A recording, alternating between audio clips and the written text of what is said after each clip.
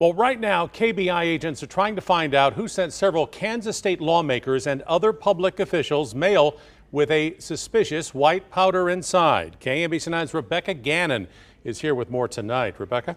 Chris, the Kansas Bureau of Investigation says roughly 30 lawmakers reported receiving suspicious letters containing a white powder today. So far, they have all been Republican lawmakers. Now, Republican State Senator Molly Baumgardner of Louisburg says she was one of them. I spoke with her via Zoom this evening, just a few hours after she got her mail.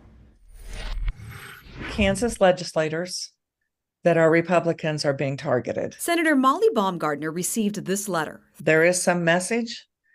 The message is somewhat unclear, but it was intended to be threatening. The message reads, in part, it is important not to choke on your ambition, and it's signed, your secret despirer.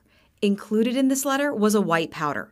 Roughly 30 Kansas lawmakers around the state received something similar. All of them so far have been Republicans.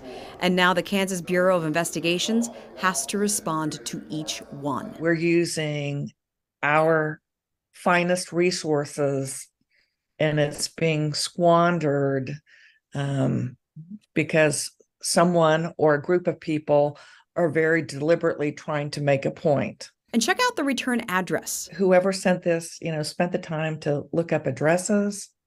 It now appears that return addresses aren't for actual individuals, but they are actually addresses for churches. So now, every one of the 165 lawmakers in Kansas are on alert.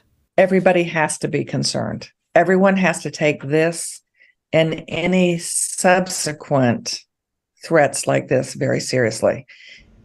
Now, we reached out to several Democratic lawmakers in the Kansas City area. None of them received one of these suspicious letters, but all of them did denounce it. Chris? Rebecca, thanks. Late this afternoon, KMBC 9 News reached out to the Kansas governor's office. We have not heard back.